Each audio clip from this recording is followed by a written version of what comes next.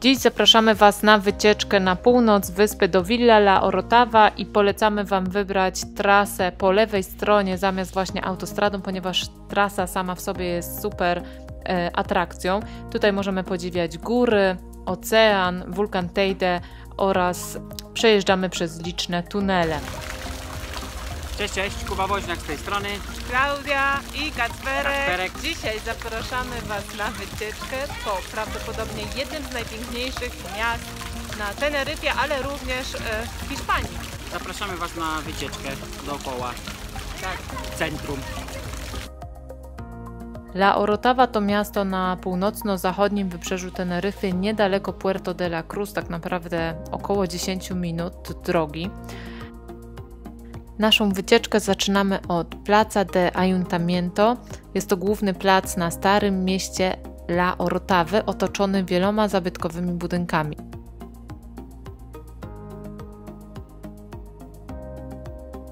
Warto tu zaznaczyć, że La Orotava słynie z kwiecistych dywanów, które są układane każdego roku e, z okazji Święta Bożego Ciała.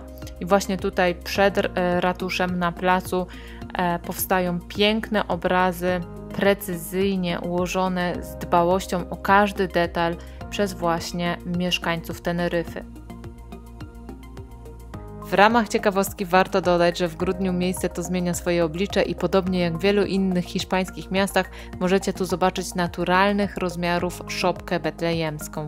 Stare miasto La Orotava zostało uznane za miejsce o znaczeniu historycznym i artystycznym.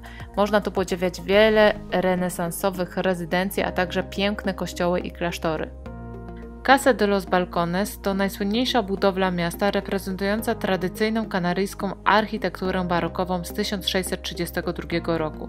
Jej wizytówką są wspaniałe drewniane balkony oraz wewnętrzny dziedziniec pięknie udekorowany kwiatami i roślinami egzotycznymi. La Orotava położona jest w atrakcyjnej, żyznej okolicy na tle wulkanu Teide. Znaczną część tutaj e, żyznych zboczy otaczających miasto e, pokrywają uprawy bananów.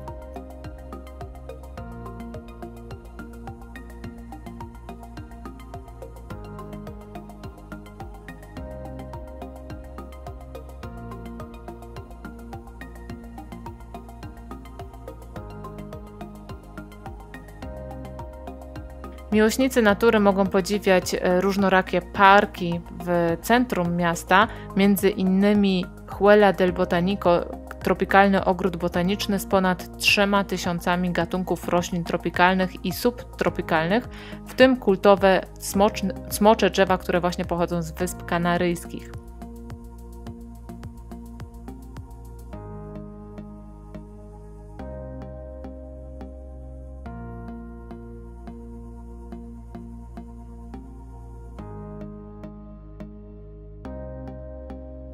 Warto udać się do Iglesia de Nuestra Señora de la Concepción w starej części miasta, e, która jest właśnie kościołem barokowym z kopułą i dwiema wieżami, która została zbudowana w XVIII wieku.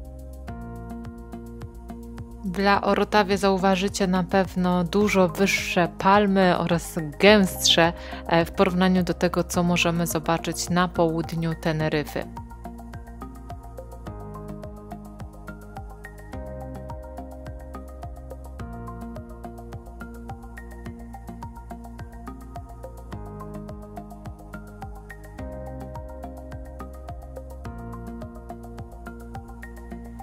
Przeszłości w La Orotava mieszkało wielu najbogatszych mieszkańców Teneryfy, a ich wpływ można dostrzec w wielu pięknych budynkach. Szczególną cechą są piękne rzeźbione drewniane balkony i wewnętrzne dziedzińce. La Orotava to miasto, które pozwala w idealny sposób poznać kulturę Wysp Kanaryjskich z czasów pierwszych konkwistadorów. Dzięki swojej wyjątkowo malowniczej architekturze przenosi nas w okres, kiedy Hiszpania była imperium, w którym nigdy nie zachodziło słońce. Był to okres terytorialnej dominacji Hiszpanów na świecie, od Filipin po niemal całe terytorium Ameryki Łacińskiej.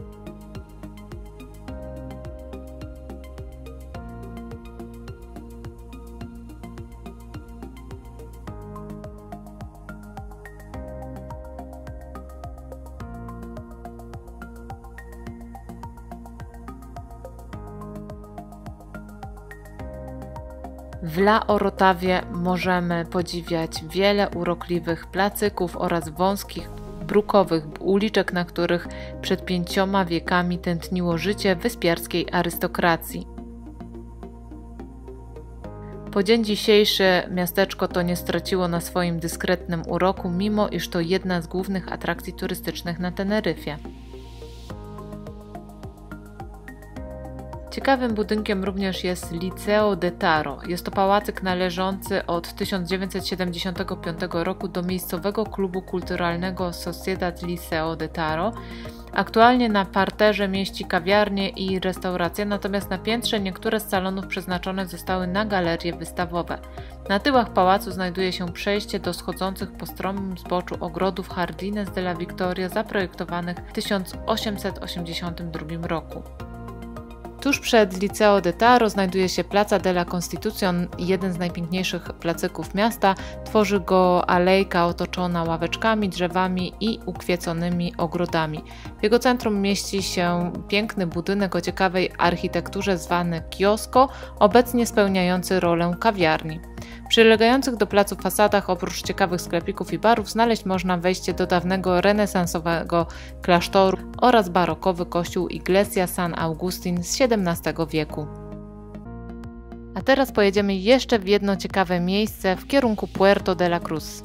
Cześć, jesteśmy teraz y, w, dalej w Laorotawie, w takim miejscu, które się nazywa Meson San Sebastian. Tak, więc jak będziecie wyjeżdżać z La Orotawy i kierować się na Puerto de la Cruz, to warto tutaj zajechać właśnie e, do takiego jakby klasztoru, z którego jest zrobiona restauracja e, i za chwilę Wam pokażemy, co możecie fajnego spodziewać się tutaj, pochodzić sobie tymi ścieżkami, e, no i oczywiście cieszyć się pięknymi widokami na całą La Orotawę. Meson el Monasterio to klasztor, który pochodzi z XVIII wieku, około 1788 roku, który ma bardzo bogatą historię. Tutaj wybraliśmy się na lunch i bardzo Wam polecamy, ponieważ e, to miejsce naprawdę oddaje piękno La Orotawy.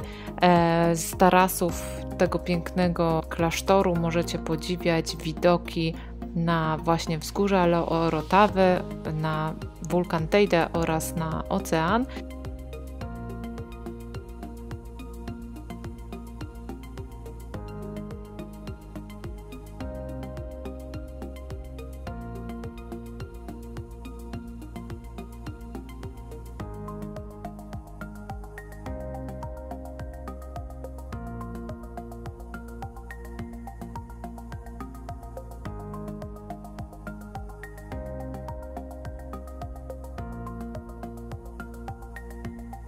Meson el Monasterio to klasztor z XVIII wieku, który był domem ojca e, Freja Antonia, e, świeckiego dominikana, który mieszkał tu aż do 1811 roku. E, następnie to miejsce zostało przekazane dla kilku innych rodzin, które postanowiły przekształcić to miejsce w restaurację i jako tako działały do lat 80. Następnie zostało to miejsce zamknięte i wykupione w 90 roku przez firmę Columbus, która przejęła całą farmę e, i przeprowadziła różnorakie reformy i renowacje w ciągu aż trzech lat. E, dopiero po tym czasie została ponownie otwarta dla użytku publicznego. Mesonel Monasterio jest położone na działce o powierzchni 100 tysięcy metrów kwadratowych i zostało uhonorowane obecnością wybitnych osobistości ze świata kultury, polityki, m.in. sam Bill Clinton był w tym miejscu, oraz ze świata sportu i tysiące innych klientów, którzy lubią tu przyjeżdżać właśnie e, na lunch czy też na kolację.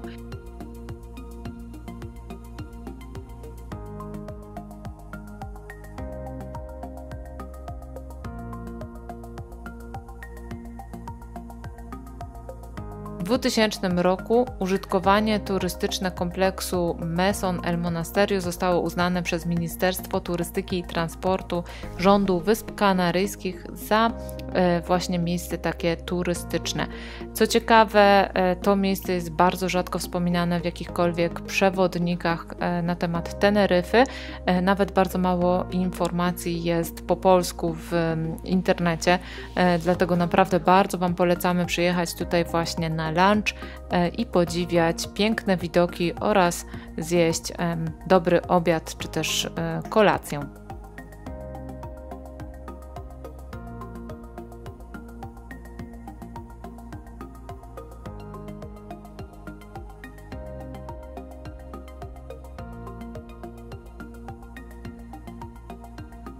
I to by było na tyle, jeśli chodzi o naszą wycieczkę do La Orotawy. My byliśmy tutaj po raz pierwszy i naprawdę bardzo nam się spodobało to miasteczko. Bardzo się różni od wszelkich innych miejsc na Teneryfie, dlatego warto tu przyjechać, pochodzić po brukowych uliczkach, a następnie wybrać się na lunch do El Monasterio e, i podziwiać właśnie wzgórza La Orotawy. Mamy nadzieję, że Wam się podobało. Jeśli tak, to zostawcie lajka, skomentujcie, czy byliście tutaj w tym miejscu, jak Wam się podobało. E, no i udostępniajcie dalej, jeśli macie znajomych, którzy wybierają się na Teneryfę. Pozdrawiamy Was serdecznie i do usłyszenia w kolejnych filmikach.